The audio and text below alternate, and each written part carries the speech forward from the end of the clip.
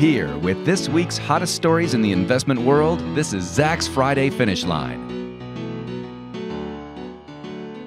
Hello, and welcome to the Zacks Friday Finish Line. I'm Ryan McQueeney, a content writer here at Zacks, along with one of our editors, Maddie Johnson. Hello.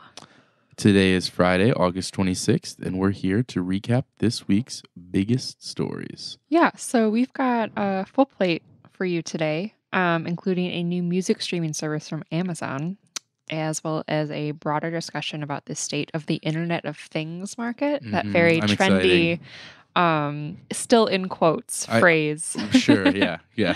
Um, but first, we're going to look at a story involving Hillary Clinton, um, allergy medication, and free market capitalism. Yeah, if that doesn't get you excited, what a plateful! if that doesn't get you excited about this story, I don't know what will. It's got all of the buzzwords in it. yes. So yeah, this has to do with a company called Mylan. Um, it's a pharmaceutical company, drug maker. Um, they trade under the ticker MYL. Um, and if you were holding this stock this week, you would have noticed that uh, on Wednesday, uh, right around mid afternoon, uh, seemingly out of nowhere, the stock just tum- took a tumble. Five and a half percent on Wednesday afternoon, it fell. Um, and it, it was really down to this. It, it, it was facing a lot of uh, criticism. Found themselves in the middle of this controversy this week um, regarding the pricing of its popular EpiPen allergy medication. So these are these are the people that make EpiPens, Right. um, also known as the you eat something that you're deathly allergic to and you s- stab yourself with it and it saves you. thing. Yeah. And they're what, $600? Six hundred dollars for a pack of two, which you have to replace. You know, if you don't use them, you have to replace them yearly. Um, you know, if you do use them, refill it. It's quite expensive, and um, the thing is, is that uh, they've they've hiked that price up uh quite a bit over the last several years. Um, and this is where Hillary Clinton comes in. Uh, she actually tweeted out on Wednesday afternoon um, t- tweeted a link to a longer Facebook post. So there's a, a lot of social media going on with with Hillary Clinton this week. Um, uh, kind of this long post about the company and its pricing strategy for EpiPens and how since like 2009 it has increased over 400% in price. Yeah. it, I it mean, used to be more like 100 bucks for the box. right when they acquired it um, in 2007, it was 100 bucks, a little over. Okay. Yeah. 2007. So so in that time and now it's like 600 bucks. So quite a bit um inflation is a thing. We, we haven't been Yeah. seeing that much inflation in that time frame, so it's certainly not you can't explain it that way 100%. um this all actually started uh, when a senator from Minnesota whose daughter relies on EpiPens um, was urged the Senate Judiciary Committee this week to investigate the price increase of the medication.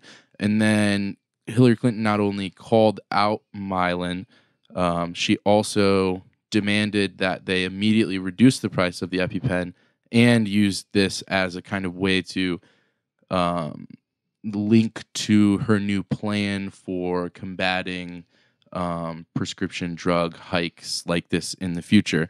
Um, basically, her plan centers around the idea of you have to have a reasonable answer as to why market conditions demand that you um, make these these higher price hikes Interesting. um, and and you know that it goes through a review process as to Mhm. whether that's reasonable or not. Um, so interestingly enough, this is my favorite part of this story. On Thursday, very quick turnaround on this. This is all Clinton tweeted this out on Wednesday afternoon. By Thursday morning, Mylan had responded with a multi-step plan on how to make the EpiPen treatment more affordable for some of its patients. So That's right? impressive. yeah, quick turnaround. Very quick. Um, the drug maker said it will provide an instant savings card worth three hundred dollars to any patient that currently pays full price for the drug. So if you're paying full price for the drug, it's because you either don't have insurance Okay. or you have a higher deductible type of plan, and, Right. and you know just the, the cutoff, whatever you're paying out of pocket for it. Um, so if you're paying out of pocket for it, you can you get a three hundred dollar gift card basically for it right off the bat. Um, Hope With- it's not a Visa gift card because those are terrible. no, it's a, it's uh, I can't think it's use a them comp- anywhere. I think it's a company specific sta- savings card. Um, so that's about fifty percent off with the current price tag. Um, the company also announced that it is doubling the eligibility for its patient assistance program. So basically, the patient assistance program is uh, if you if you certain household income cut off, um, in in they you get it for free. Um, right. Okay. or you're eligible to receive it for basically nothing, as they put it. Um, they're doubling that to now. It's going. The level is going to be 400 percent of the federal poverty line, which I think is about like 97. A family of four household income is about 97 thousand dollars. Uh, anything under that, you're eligible to receive the EpiPen treatment for free. Um, and they also, you know, made sure to note that they give a, give away quite a bit of EpiPens to school systems Right. throughout the country. They're continuing that program, um, and they're also looking for ways to open up pathways to get the um, consumers able to purchase directly from Mylan to Okay. kind of cut out the middlemen and reduce costs again that way. Um, Well, and it'll also be interesting because when and if a generic comes to the market, if that six hundred dollar price tag will go up, sure. um, and then what can we expect from the generic EpiPen as well? Yeah. So I think uh, the other thing, you know, hovering on this, th- all the political involvement Mhm. here, um, Clinton obviously using it as a as a way to kind of pitch her plan for prescription drugs. I thought, on a side note, this senator whose daughter uses the EpiPen, who kind of first brought this to light, um, she was the one advocating for it in front of the Senate Judiciary Committee. Turns out, small world, the CEO of Mylan is also a daughter of a U.S. senator, Oh, which I don't think has anything to do with anything, but Yeah. is kind of a weird coincidence. Um, the CEO was on CSNBC this morning detailing, or CSNBC Thursday morning, and was detailing the plan when they announced it, kind of like an interview alongside the announcement of the Yeah. plan. Um, and she said she wanted to make sure, first and foremost, that everyone who needed an EpiPen had an EpiPen. So, um, I guess light on the other side of the tunnel. I don't know if that's the right phrase for it, but encouraging to see a company get called out and go, hey, maybe you're right. We can be doing a better job getting patients who need this medicine the medicine they need. Um, from an investor's perspective, I guess we don't really know yet what this does to the bottom line for the company. Um, you know, it might cut into earnings, it might not. You know, the the PR gain they get out of it might cancel out any might earnings boost it even. Yeah, I mean, there's definitely an argument to be made that this is a more of a public relations thing, um, but interesting to see nonetheless. And you know, looking forward into this presidential campaign, if Clinton continues to keep um, drug prices at the forefront of her campaign, because now it's very much in the spotlight definitely. um, it, w- it it is definitely going to be something to keep our eyes on for other companies, other companies that might get called out, or other companies that might proactively um, try to do something about their pricing strategies. Be interesting to see what our boy Martin Shkreli has to say about this. yes. But yeah, uh, a lot to take in there. A lot of factors, a lot of players. It was a great story this week. Um, moving on, um, hand it off over to you on these rumors about an Amazon music streaming service. Yeah, so still rumors at this point, but very exciting to think about. So Amazon is I guess planning to launch a music streaming service that would be exclusively for its Echo devices, so it's Mhm. it's like line of smart speakers. Um, and then according to the the website Recode, the company is toying with the idea of selling this service for four or five dollars per month, which would make it the cheapest music streaming service on the market. Um, but this service would also be in addition to another music subscription service that Amazon would launch, which would be like kind of what we already have on the market. So it would be similar to Apple Music, similar to Tidal and Spotify. Um, it would cost $10 per month, and then users could access all the music they want to stream anywhere at any time. You could download songs for offline listening. Um, so that's like just basically a copycat of what we already have on the market. But this $5 per month service, I think, um, could be something that would really propel Amazon for, I mean, almost make them more of a world dominator than they already are. Mhm. Um, but the only thing is that it would be confined to the Echo device. Like you wouldn't be able to listen to music on your phone, which is the core of music streaming services. Yeah, you and you covered this story this week, and I thought that was the most important point that you made was just almost as confusing that they would limit it to. This is kind of where music streaming services have um, made all of their headway over the last Yeah. few years. I mean, if you look at Spotify, all of the music in the palm of your Yeah. hand as you're on the go. yeah, like most of their membership, um, like renewals and like free trials start is on the smartphone. right. Um, but I, I don't. I'm not sure how it'll work because they have. So they have Amazon has this Echo speaker. right. Um, We should talk about that a little bit more too, for sure. Yeah, it has the Amazon Tap and it has the Echo Dot.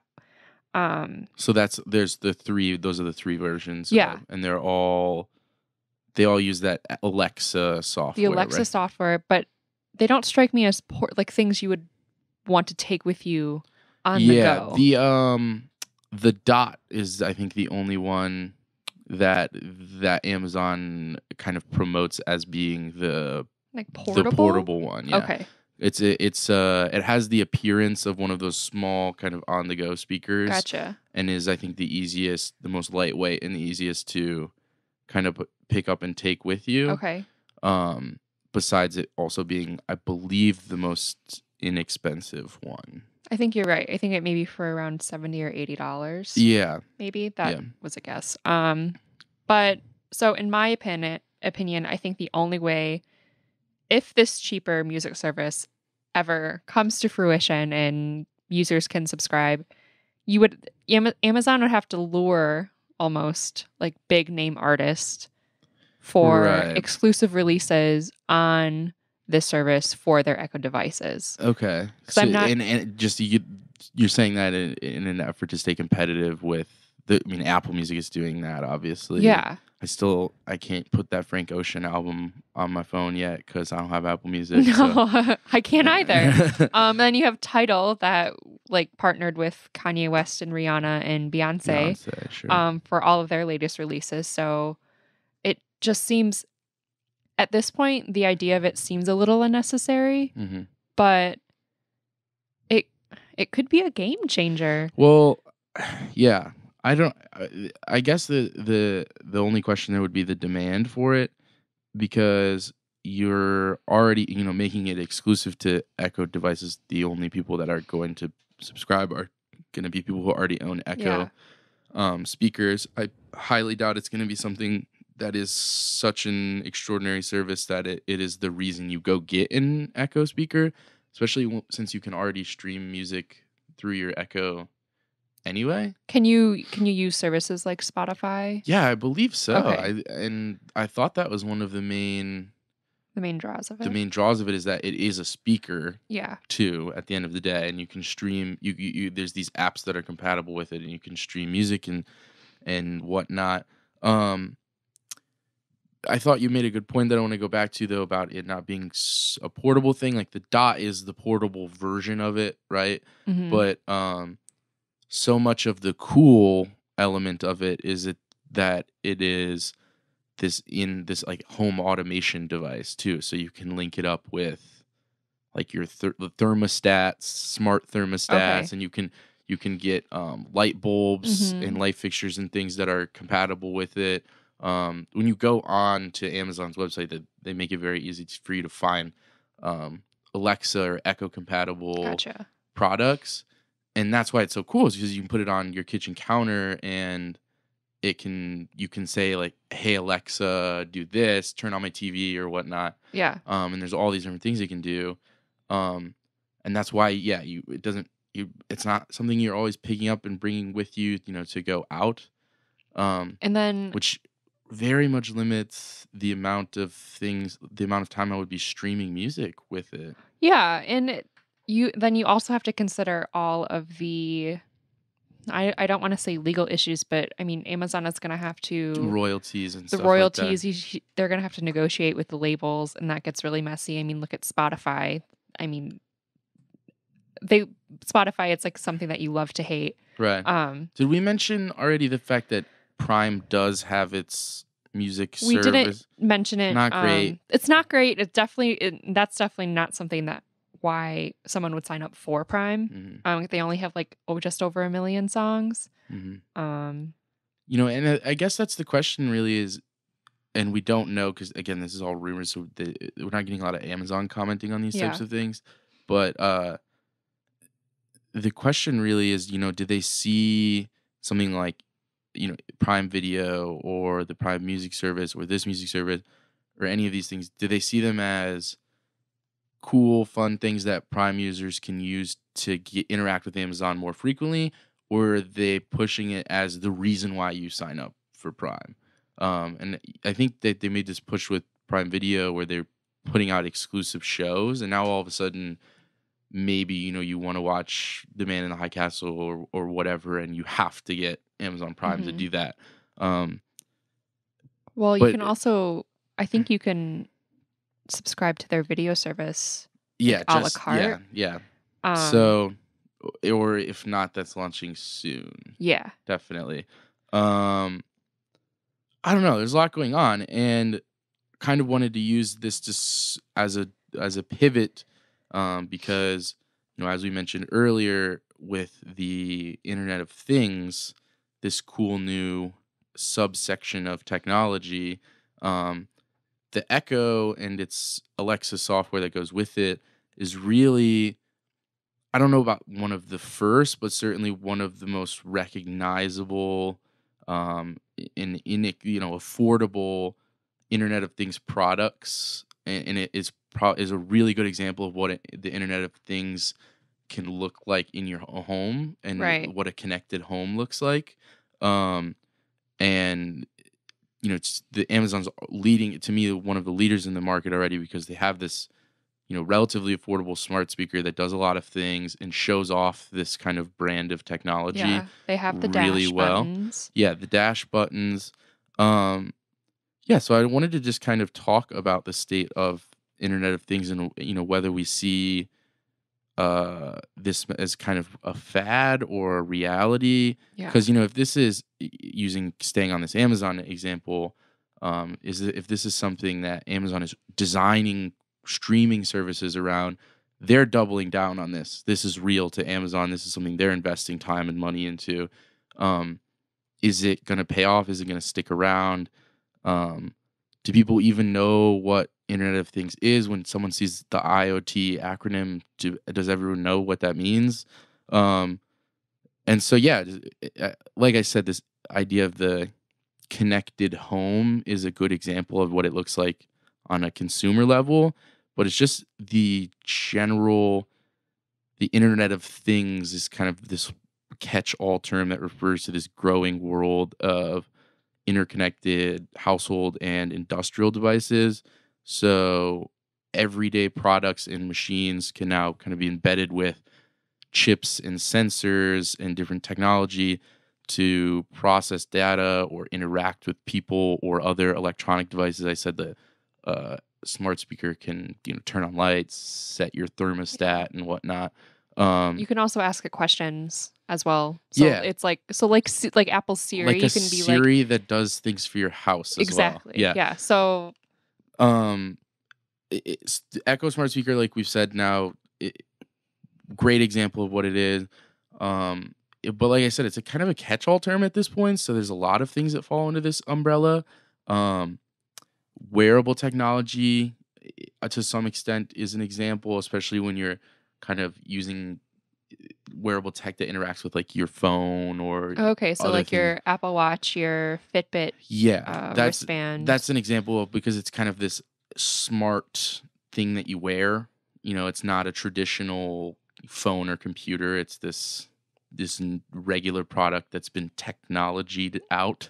um, uh, advanced kind of in-car technology. So um, the, the there are a hundred examples now of like the press a button and talk to your car, and it Right. does certain things.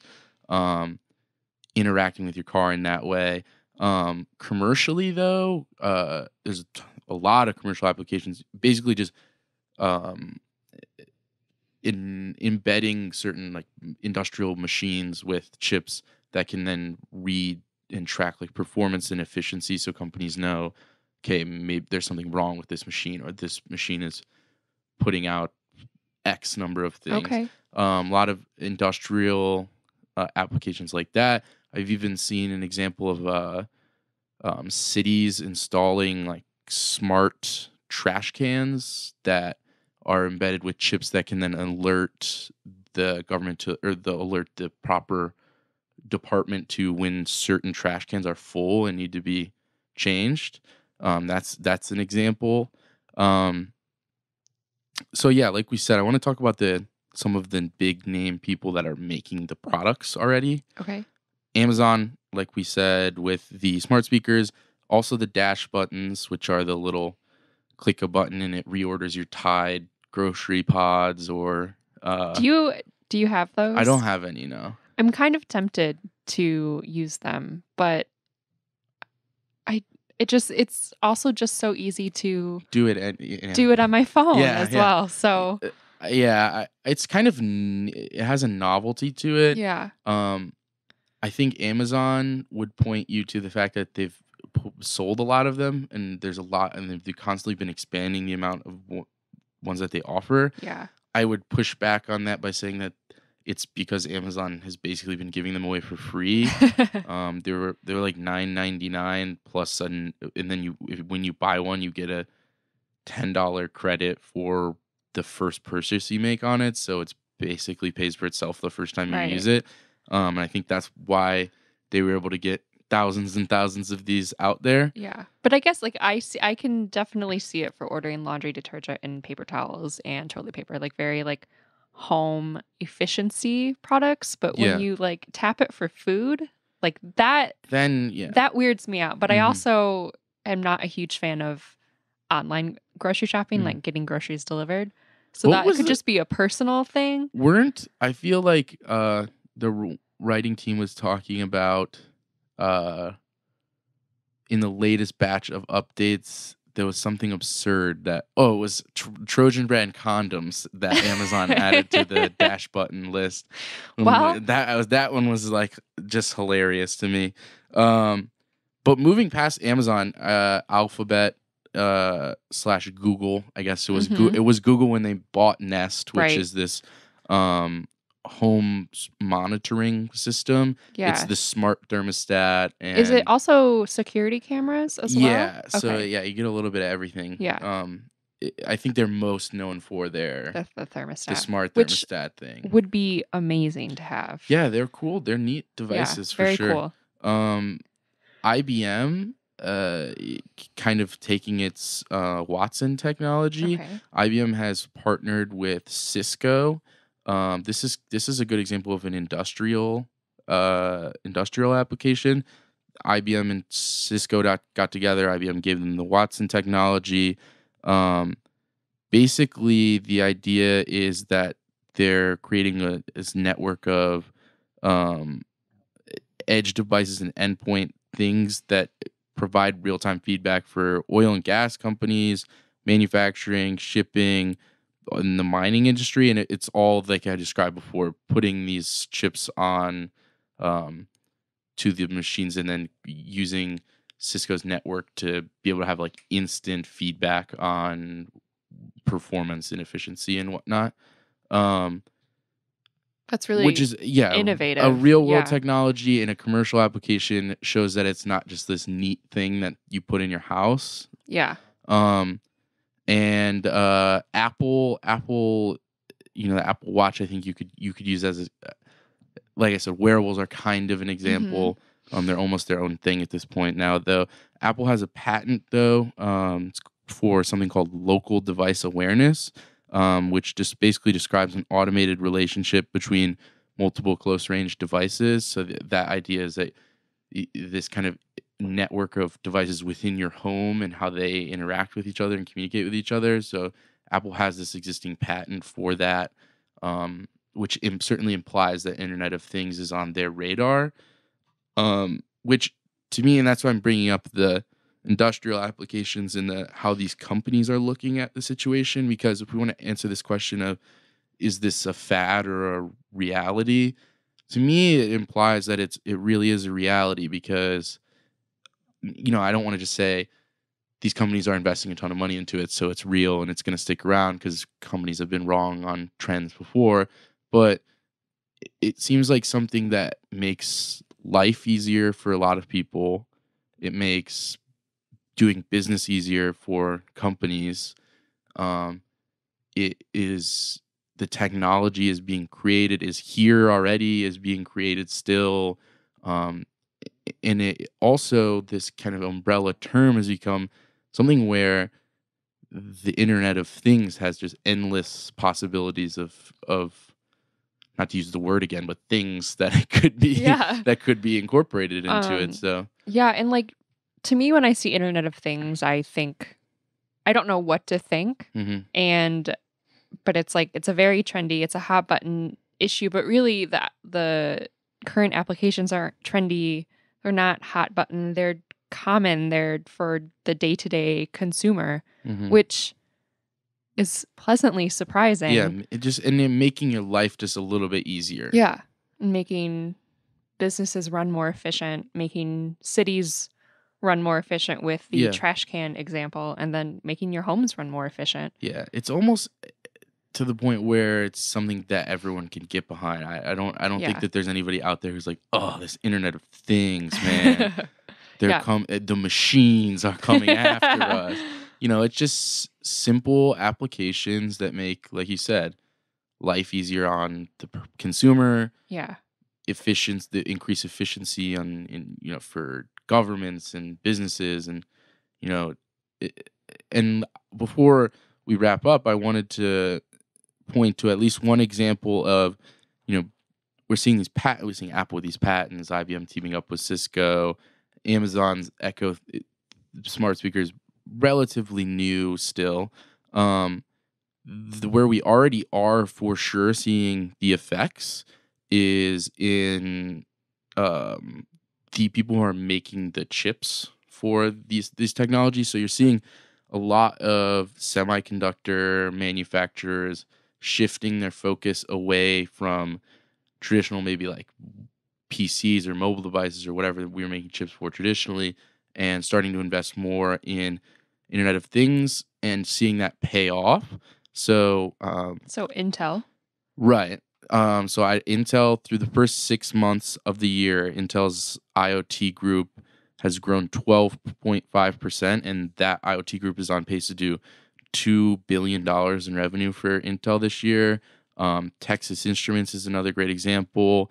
They have this embedded processors division that kind of has a- lot of different um, IoT uh, uh, chips that are applicable to IoT devices within it. Um, Are it- they the ones that make calculators? yes, Texas Instruments. Right. That's how. It, that's how. That's I, I would venture to say that that's how most people would recognize the brand. But yeah, they're the calculators in high school and whatnot. um. So, but it's actually a very small amount of the their revenue. Interesting. Um, so they reported not in this latest earnings report. They reported nine percent growth uh, year over year in the their embedded processors division.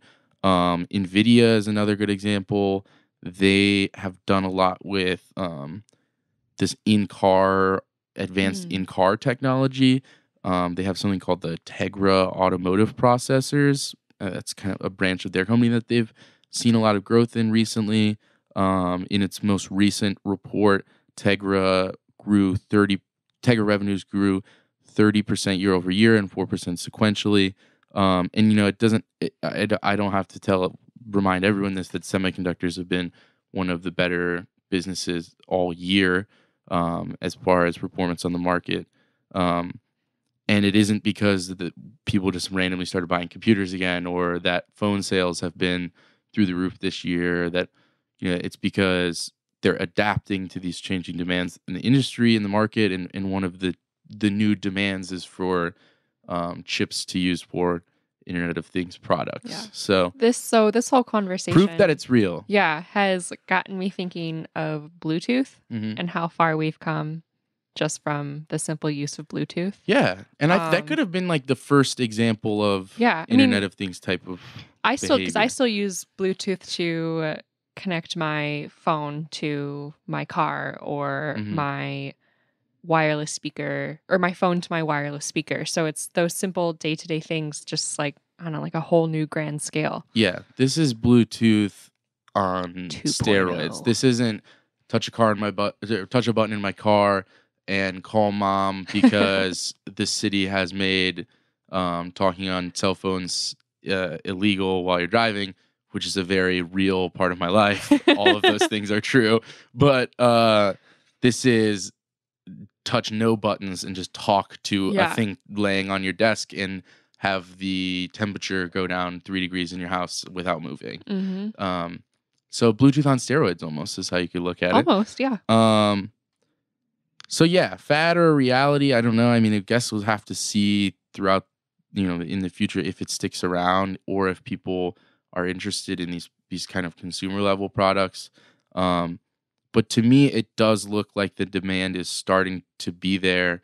Seeing that with the growth in these IoT divisions of these chip makers, um, and you're seeing companies like Amazon double down on their products for these things. So, um, I'm glad we ha- were able to have this conversation. I mean, I, I, I, it's been something I've been uh, interested in covering, um, and certainly something that um, a lot of folks could use some explanation on for Definitely. sure. And it helps that it's becoming that we're seeing more concrete examples of what it was. Because even Mhm. just a year ago, it was probably 10 times more vague than it is today. And Mhm. that's saying something. So, Exactly. All right. Well, I think that just about does it for this week. Um, as always, you can find our full coverage for all of these stories, um, and we have plenty of coverage on the site uh, for Internet of Things um, stocks to look out for. Um, and you can find the links for all of these in the corresponding article. Um, and thank you for joining us this week, and we will see you next week.